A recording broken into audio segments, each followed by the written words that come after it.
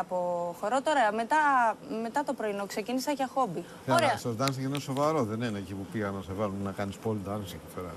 Δεν είναι Τα έχεις πράγματα δει αυτά. όλα, μας παρακολουθείς. Ε, παρα- Πολύ τα χαίρομαι που τα βλέπεις. Καταρχήν, καταρχήν παρακολουθώ για να δω πότε είναι ο Πέτρος και πότε δεν είναι, να ξέρω τι να πω. Είναι συνέχεια τώρα και εσύ, έλα. Όχι, καλή χρονιά να έχει. Ναι, Και όλοι, όλοι να είναι με ευτυχία και οικογενειακή γαλήνη. το Να οποίο σου το πω κάτι χρειαζόμαστε. τώρα πέρα από το αστείο.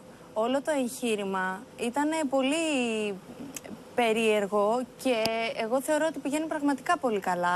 Όπως ακριβώς είπες και εσύ, Ε, βέβαια, γιατί έχουμε έχουμε τέτοιο πολλά καινούριο. τελευταία. Ε, Όλοι, όλοι άπειροι από πρωινό. Αν Όλοι. εξαιρέσεις, ο μόνος που είχε εμπειρία, ο Είναι ο Ουγγαρέζος, Ουγγαρέζος. Ναι, δεν κοιτάει τη δουλειά του. Ακόμα και την ώρα που λέει τον καιρό, πρέπει να πω ότι κοιτάει εσένα. Εντάξει στη τώρα γυμναστική, αυτό τι δηλαδή. να κάνουμε, αφού τραβάω τα βλέμματα, βρε. Ναι, τραβά τα βλέμματα, αλλά δεν είναι επαγγελματικό, ξέρεις. Και εγώ με εδώ δεν, κοιτ- δεν κοιτάω. Υπάρχει μια φήμη. μια Δεν φήμη. κοιτάζω βλάκας. Το πιο τρελό που έχεις ακούσει ποιο είναι; Ε, ότι φεύγω και με αντικαθιστούν. Α, ναι, το είχα διαβάσει. Έλα, σε αυτό το δια- στην τηλεόραση καθημερινό είναι αυτό. Αυτό, αυτό διαπιστώνω. Τα βλέπει. Ω, δεν είναι τίποτα. Η Αυτό κουβέντα που εσένα σε κάναμε πριν. στεναχώρησε. Δεν είναι τίποτα. Όχι. Τι να με στεναχωρήσει. Μα ήταν μια μέρα που ήσουν άρρωστη, δεν είχε πάει. Ναι, είχα Κάτι αρρωστήσει. τέτοιο είχε συμβεί. Οπότε όλοι. Εν τω μεταξύ Ότι- πήγαν και χτυπήσαν την πόρτα κάποια πενταριά άτομα. Έτοιμοι μέσα να σου πάρουν τη θέση. Βλέπει ότι όλοι λένε, λένε για το πρωινό μου, αλλά κατά τα λοιπά όλοι θέλουν να πάνε. Ε, και θα βέβαια. φύγουν. ε, αυτή είναι η δηλαδή διαφορά. άλλο ξύλο.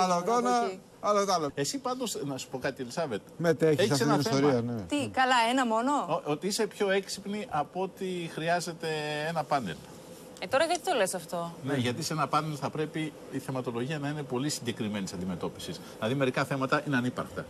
Έτσι ζούμε τα πάνελ. σου πω κάτι. Εσύ καταλαβαίνεις ότι το ανύπαρκτο δεν υπάρχει καμία σημασία να ασχοληθούμε. Γιατί δεν πάμε παρακάτω, γιατί βαρέθηκα. Γενικότερα, όλα τα πράγματα που συζητάμε, και εκεί είναι το εντυπωσιακό με, τα, με την τηλεόραση, ας πούμε, δεν νομίζω, όχι τη δική μας εκπομπή, κανέναν από όλους όσους κάνουν εκπομπές τους ενδιαφέρουν. Και το περίεργο είναι δεν ενδιαφέρει και τον κόσμο.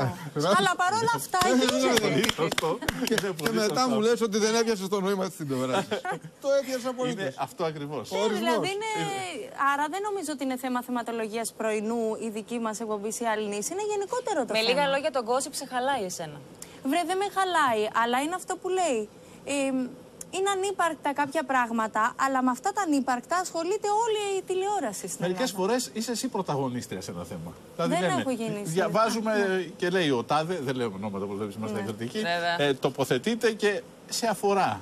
Μερικές φορές αμέσως. Θες να γίνεις πάλι, ναι, αυτό. Ρε, τι εννοεί, Ναι. πες, τι- Δηλαδή τι έχει στο υπάρχει μυαλό είδηση σου; που αφορά τον κύριο με τα μουσια Αλεξα... Αλεξάνδρου. Αλεξάνδρου. Εντάξει, όπου αναφέρεται στο πάνελ.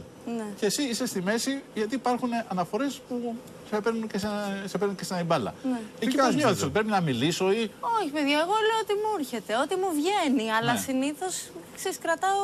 Είμαι, είμαι δίκαιη σαν άνθρωπος από μόνο μου. Δηλαδή, οπότε νομίζω ότι. Λέω απλά αυτό που αισθάνομαι. Αν Θυμάμαι έχω και να μια- πω κάτι, το λέω. Αν δεν έχω, δεν λέω. Ε, τελευταία τι είπες κανονικά. εντάξει. Τι είπα. είπε, τι είπε. Ότι δεν πρέπει να.